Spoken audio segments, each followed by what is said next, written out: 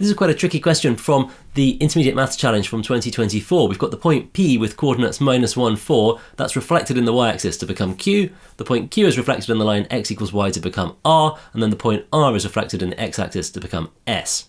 So let's draw a diagram. That's crucial for this sort of question. Uh, we've got the point P with coordinates minus 1, 4. That would be over here. I'm going to reflect that in the y-axis. So the y-coordinate is going to stay the same. And the x-coordinate is going to change from minus 1 to 1 to give us the point Q with coordinates 1, 4.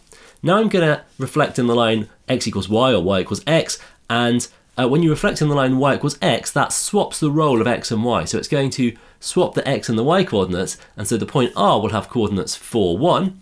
Uh, and then I'm going to reflect in the x-axis, so the x coordinate will stay the same this time, and the y coordinate will change from 1 to minus 1 to give us the point S at the bottom with uh, coordinates 4, uh, minus 1.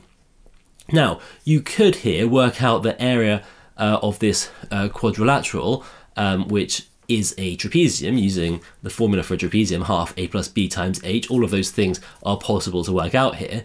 But if you want a, a nice fast math challenge uh, method for this, we could add in another point here, 4, 4, and see that the trapezium that we've got here is a large triangle minus a smaller triangle. The smaller triangle has uh, side lengths 3 and 3, and the larger one 5 and 5. So I just need to do uh, half base times height for each of those. A half times 5 times 5 uh, minus a half times 3 times 3, that's a half of 25 minus 9, or a half of 16, which gives us 8. And so the answer here is E.